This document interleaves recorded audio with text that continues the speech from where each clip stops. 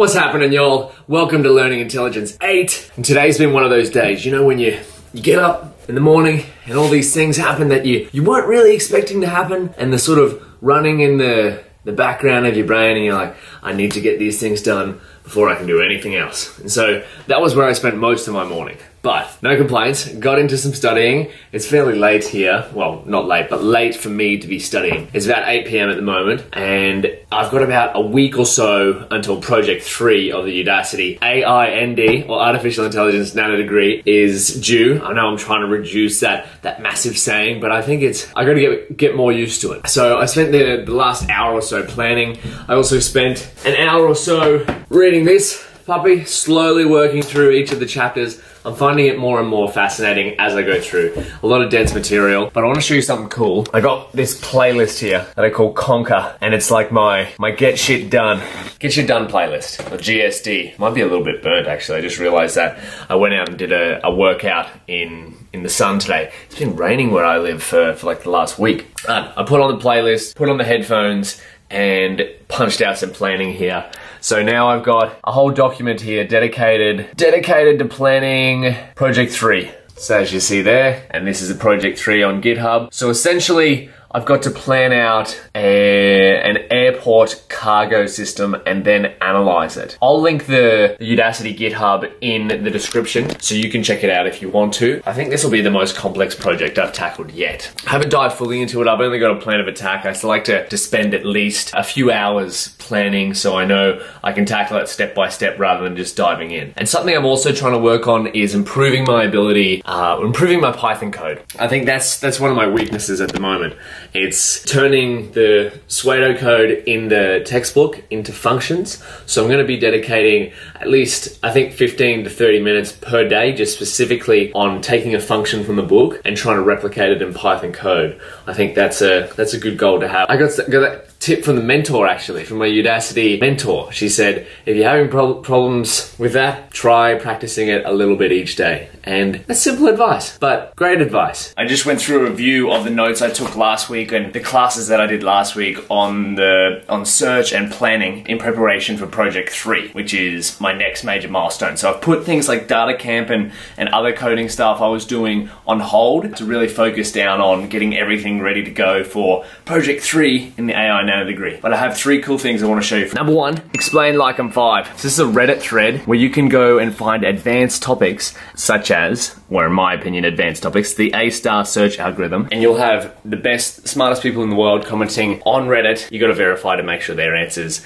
uh, are legit in a, in a way that's easy to understand. The A star algorithm is quite complex if you've never heard of it before, but essentially it can be broken down and considered to be the best estimated total path cost first. If you have a route finding algorithm you want to get from point A to point B, A star search will find you the best estimated lowest cost route. That's what I gathered so far from the Eli 5 thread on Reddit, and I'll link that in the description by the way. So any topic you're having trouble understanding, search Eli 5 and then whatever you're looking for. And hopefully that someone's made it on Reddit. If not, if you decide to, if there's no thread on it, maybe you can create your own and help out the rest of the community. Number two, so you know how I've been doing all these search algorithms, or if you've been watching along the, in the vlogs, I've been learning about different kinds of search and planning algorithms in artificial intelligence. And so I found an awesome, this is from the Eli 5 thread by the way, an awesome visualizer to demonstrate different search algorithms such as breadth first search and depth first search and uh, A star search. I'll let the visualization do the talking. Check this out. You start at the green dot, you draw these walls, by just dragging the mouse and then it wants to get to the red dot and you can choose your search algorithm here and then adjust the heuristics. So if we go, let's start. This is the A star search. This is how it works. A visualization. So I'll link this in the description and then it finds the path to the goal and let's check it out. What to do it in. Time, 10 milliseconds. Or sorry, 10 seconds. I thought that was really cool. And failure of the day, I'm gonna put right here.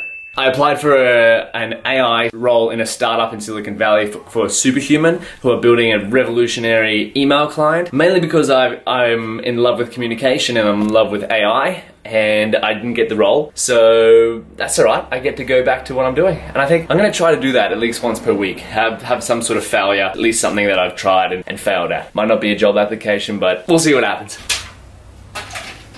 Have I told you guys before how much I love walks? I just went for a 20 minute walk to clear my head. I've been working on my project all day. Let me show you what I've done actually. I love walking. It clears my head. I was in a bit of a rut with this, this project I'm working on and I decided it's time to get moving, get the, get the subconscious working on the problems and now I've come back, just been going down to the water. Amazing area down there. My head is so much clearer, ready to take on the next stage. And this is where I'm at. I've been going through the GitHub page and just writing out all the things I need to do even the, the next function I need to implement. I started started it, I've left it here to come back to, to implement with handwriting before I implement it with code. So I'm gonna do about another hour and a half of, of study before I, I call it a day. My goal is to have a rough outline of the next functions I need to implement in part one of the project. And then after that, I'm gonna do some reading because I need to do a report for part three of the project on the history of AI in, in planning, in planning. So the project is on, I've got to develop a planning domain language or some planning functions to plan transportation to and from certain airports with planes and cargo. But I'll fill you in more when I've learned more about it and made more progress. Side note, the next time you're stuck on something, try going for a walk for 20 minutes or so. You know, Harvard published a study recently that I read that said walking for about 20 minutes or so promotes creativity. I guess that's why Steve Jobs had all these meetings on walks. Hacking into the database. We can do this.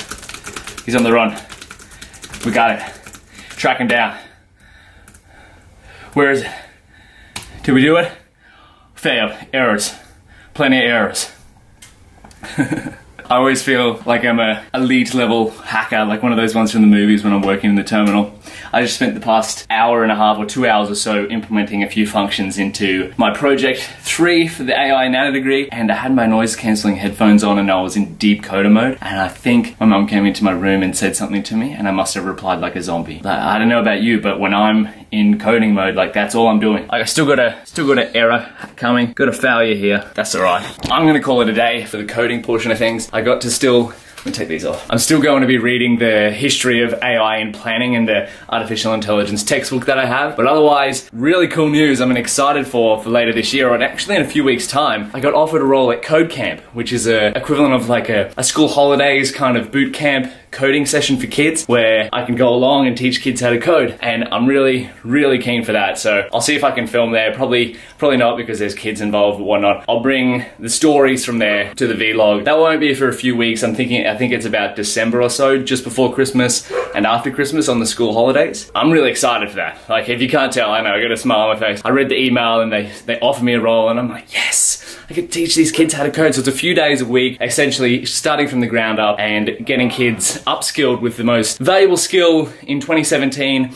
in my opinion. I'm biased, of course, because I'm learning it, but I think anyone, everyone can gain value out of coding, and it's not just coding; it's the underlying uh, skill that's that that comes along with programming, and that's problem solving. So I think that's that's going to be it for episode eight. Thank you so much for watching. Next week's video is going to be more of Project Three. That's due in a few days. I'm going to crunch it out and we'll get it submitted and then I'll show you when it's done. As always, keep learning and we'll see you next week.